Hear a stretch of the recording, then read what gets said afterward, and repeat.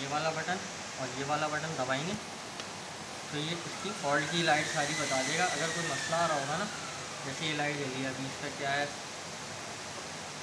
जो फ़िल्टर अभी हमने लगाया है। ये देखना पड़ेगा।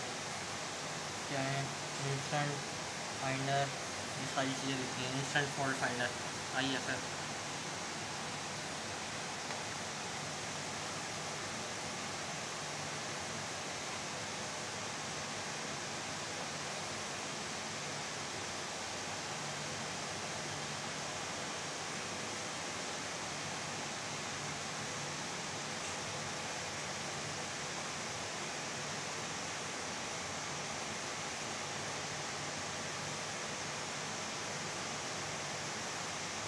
green light जल गया इसका मतलब है नॉर्मल था